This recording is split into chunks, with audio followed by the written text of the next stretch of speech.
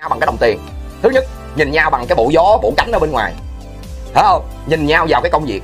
Rồi, còn cái chuyện thực chất á, ở trong xã hội Việt Nam không có bao giờ hỏi cái câu mày làm được cái gì không? Không có. Mày có tiền hay không?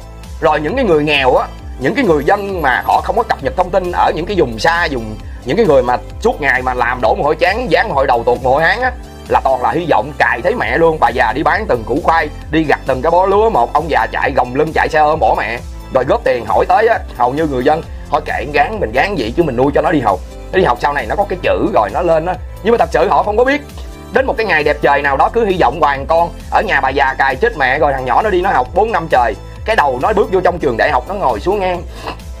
Các em phải hiểu biết về cái trình độ này kia, các em gán học đi thế hệ của các cháu đó mình làm con người mình phải thật thà mình phải dũng cảm như lời của bác dạy. À, chúng ta phải biết đấu tranh cho những à, những cái con người thấp cổ bé họng trên cuộc đời khi mà chúng ta có cái nền tảng kiến thức này. Chúng ta sẽ giúp ích được cho xã hội. Ít nhất mình không tạo được một cái chuyện lớn. Mình có những cái nền kiến thức như vậy bắt đầu vô trong trường ngồi học ồ, cắn viết mơ mộng á.